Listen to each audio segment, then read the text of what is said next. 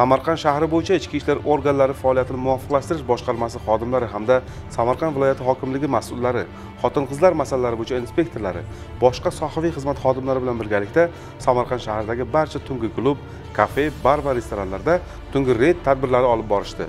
Reyd tadbirlaridan ko'zlangan asosiy maqsad tunda kafe barlarda yengil tabiatli ayollarni hamda raqqosalik faoliyati bilan shug'ullanayotgan xotin qizlarni to'g'ri yo'lga yo'naltirish hisoblanadi.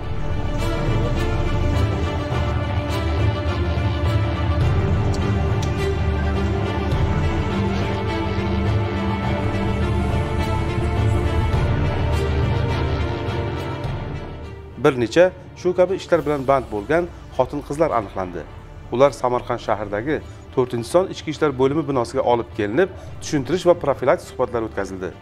Bu noto'g'ri yo'l ekanligi hali bu yo'ldan qaytish uchun imkoniyat borligi. Eng asosiysi barcha ayollarning jamiyatda tutgan mavqei turli sohalarda o'z o'rniga ega ekanligi misollar yordamida tushuntirildi. O'tkazilgan profilaktik suhbatlar jarayonlarida xotin qizlar o'zlariga tegishli xulosalar chiqarib olishdi. Bu kabi red tadbirlari davom etmoqda.